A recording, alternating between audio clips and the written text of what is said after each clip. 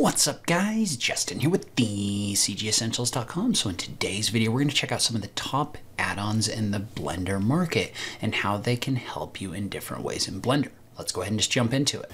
All right, so as many of you know, the Blender market Black Friday and Cyber Monday sale has been going on this weekend, and this sale is going to close later on today. So you can currently get a number of different add-ons for Blender on sale through 11:59 p.m. tonight. So I wanted to hit on some of the top add-ons available for Blender, just kind of talk about what you can do with them. But if you want to check out the sale, you can do that at thecgessentials.com slash Black Friday. Note that some of these links are affiliate links, meaning I would receive a commission if you do purchase through those links. Um, I have also received some copies of some of these add-ons from the developers to try out. All right, and so there's obviously a ton of different add-ons available in the Blender market. I definitely can't cover 36,000 add-ons, but what I can do is talk about some of the highlights and some of the ones that I really like and that seem to be really good for a lot of different things. So first off is one I haven't really had a chance to talk about on this channel. Um, I need to do this a little bit more, um, but Auto Rig Pro is actually a tool for Blender designed to help you set up rigging for things like characters and animations. And so it has tools built in um, to do things like setting up your bones using kind of smart rigging functions. So it's got those built in. It actually has a free character example you can download and try out, but it's got a ton of features designed to help you set up things like limbs, or um, you can even use it to set up like uh, IK ropes and other things like that. So lots of tools built into this one. Um, it's been the most popular add-on in the Blender market for like ever. So definitely something that if you're into rigging, you should give a look. So next up, have to talk about this one, Hard Ops and Box Cutter. Specifically, I'm talking about the bundle. In this case, is a tool set for hard surface modeling. This has been around forever. It is a massive tool set for doing hard surface modeling. So you've got Hard Ops, which is basically a tool designed to help you uh, work with your hard surface geometry. Um, it's got a number of different tools for that kind of modeling. And so Box Cutter is specifically designed to help you make cuts to your object. So it's basically a, a, Boolean workflow tool that's designed to help you create those different hard surface shapes. So if you're looking for a massive tool set for hard surface modeling, you can definitely check out HardOps and Box Cutter. There are also a ton of tutorials out there teaching you how to use these tools. All right, so next up, we've got Botaniq. And so what Botaniq is, is it's basically a tree and grass library and it does a really good job of that. What I like about Botaniq is it's got a number of different things all contained inside of one add-on. They're consistently updating this. Like the last time that they updated it, they added a bunch of like desert style plants, but they've got a ton of different plants in here. So one of the cool things about the plants in here is some of them have the ability to do things like changing the season or the hues of the trees. Um, some of them also have animation. So if you want to create animated animated trees, you've got the ability to do that. And you've got a scatter pack that lets you work with geoscatter in order to scatter the assets. So there are also tools in here that help you like populate scenes as well. So if you want to add randomization, um, or you can use their pre-made particle systems um, in order to scatter on the surfaces. It's just got a little bit of everything um, in order to help you out with uh, kind of your landscape and tree needs. So you can kind of scroll down on this page and see what they have included in here. So they've got different shrubs, they've got succulents, they've got rocks, um, a bunch of miscellaneous stuff as well. So um, there's just a ton of things contained inside of Botaniq. So if you are looking for something um, that's got kind of a general overall library of trees and grasses and other tools, you can definitely check this one out. All right, so next up is the tool that I use to set up my atmosphere, which is physical starlight and atmosphere. I've talked about this in the past, but this is a really cool tool that basically um, automates the creation of atmospheres inside of Blender. So what it does is instead of using like an HDRI file, it like procedurally adds um, all of this stuff in the background, meaning you can go through and you can adjust and change things like the clouds. You can use it to move where the sun is. You can move it up in the sky. And it's got a bunch of different presets for that as well. So not only does it have presets, but you can also make those live adjustments inside of your scene and your lighting is going to adjust with that.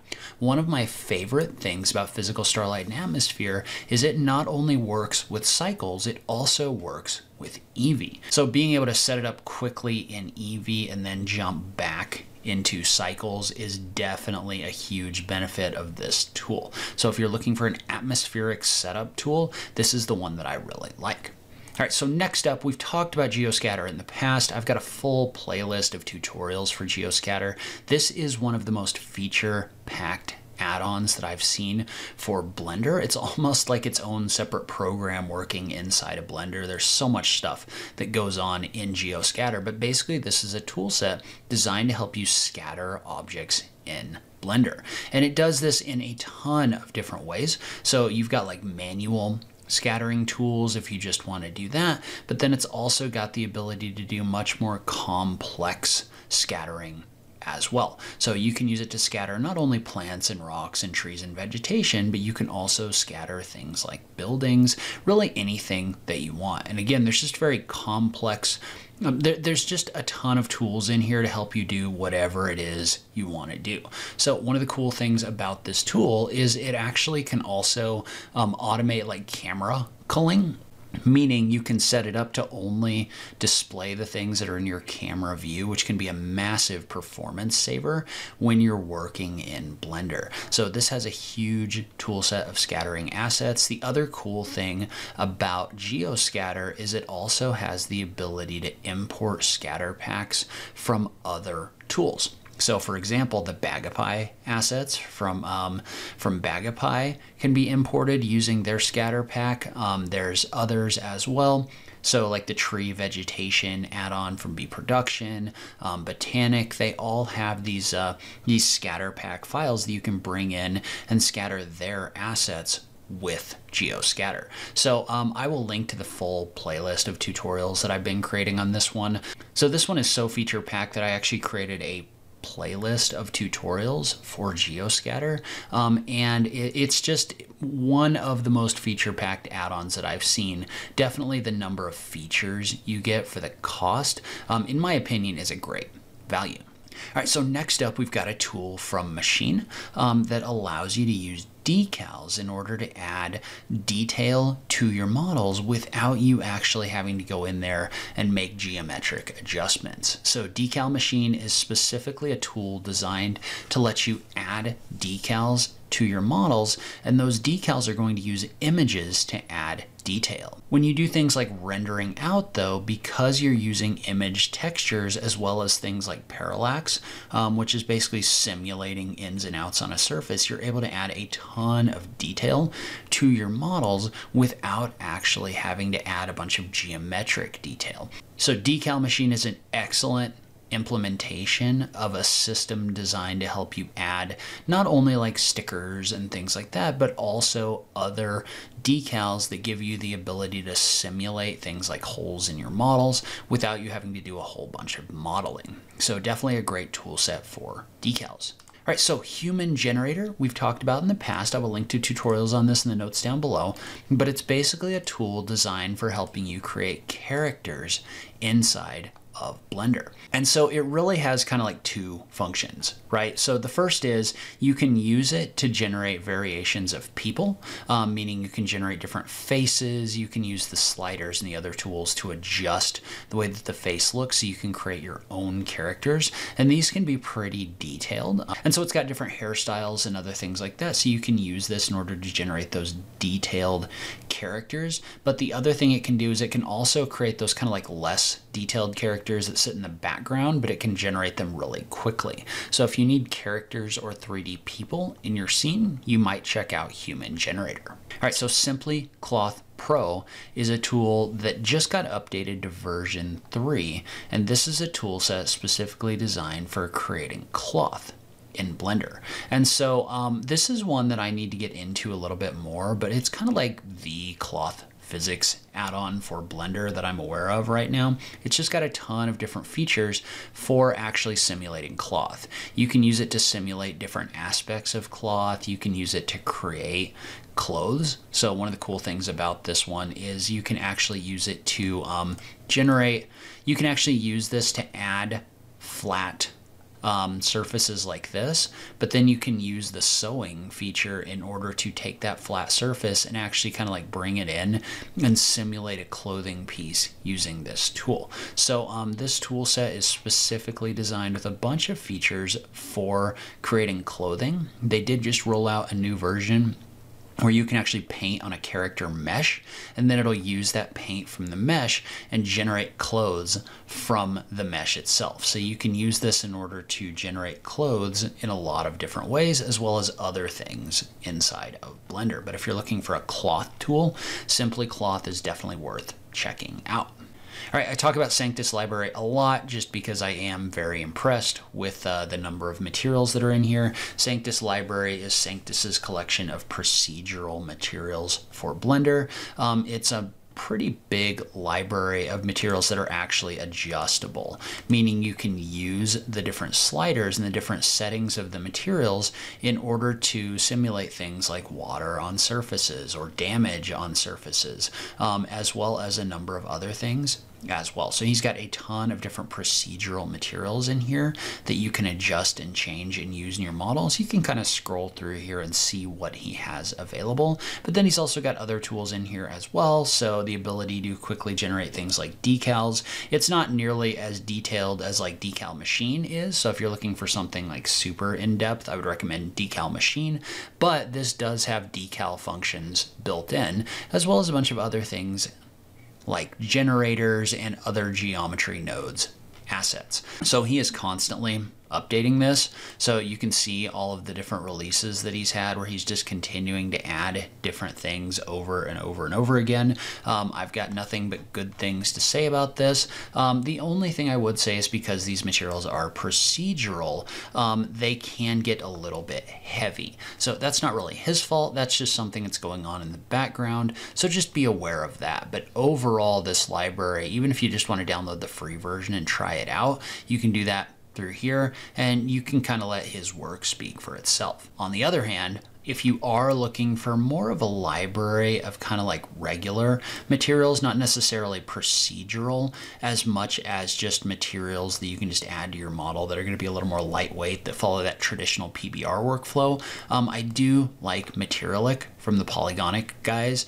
for that. So they've updated it with asset browser integration, meaning you can use the asset browser in Blender in order to add these different materials, but it's got a number of tools built in for doing things. Um, anything from doing some kind of randomization, of your different values to adjusting the values of your materials using sliders. So you don't need to jump over into the shader editor to make those changes using the Materialiq materials.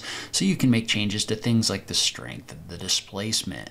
Um, you can add texture bombing so you don't get that like seamed look of your materials.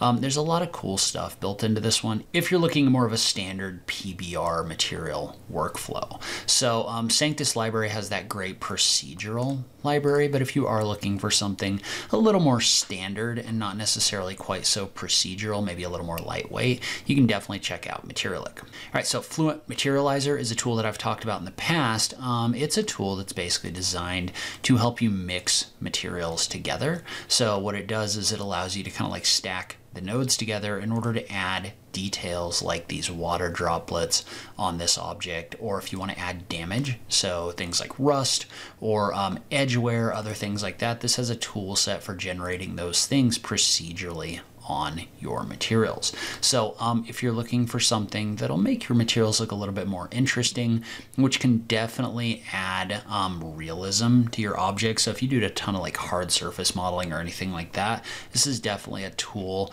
that can allow you to do a lot of those different things. So it's also got the ability to um, use kind of a painted mask in order to add damage to surfaces as well. So if you do want to come in here and be a little more precise this does definitely have a tool set in there for doing that as well. I believe they came they just came out with a new version too, which is something I need to cover a little bit more on the channel. But if you are looking for something to kind of add that edge wear and damage, um, you can check out Fluent Materializer. And then last but not least, I do have to talk a little bit about Bagapie. So Bagapie is an architectural modeling toolset. If you want the base Bagapie modifier, it's available for free. And it's got a ton of tools built in that allows you to do things like architectural modeling. So you can drop things in like different stairs, you can use it to create rails, you can use it to create windows. There's a bunch of architectural stuff built into the base version of Bagapie that you can use for free. Um, and then if you want to, he also makes available different assets. So he's got flowers, he's got rocks, he's got bushes and uh, furniture items. So there's a ton of stuff in his asset library um, as well. You can get his full Bagapie assets or the light version um, if you are looking for some great assets. Um, the other cool thing about this is Bagapie, he's built the ability now for him to add additional things in here using geopacks. A geopack is a tool that you can use to import things to Bagapie. And one of the things he just released is Bagastreet, which is a collection of assets specifically designed for like streets and roads and uh, kind of like city streetscapes in Blender. So you can download this. You can basically buy this as a pack and you can install it into Blender and allow you to add things like uh, your highway dividers or different city benches or bollards. So this is kind of a streetscape pack that plugs in to Bagapie. So Bagapie itself, everyone should have Bagapie, at least the free version, because it's free. So why wouldn't you? Um, but then he's got other things that plug into this that make this an even better tool. So that's some of my favorite add-ons available for Blender right now. Remember those are on sale as a part of that Blender Market Black Friday through end of day today. I will link to that on this page. But let me know if I forgot anything or left anything off this list. I just love having that conversation with you guys. As always, thank you so much for taking the time to watch this. I'll catch you in the next video. Thanks, guys.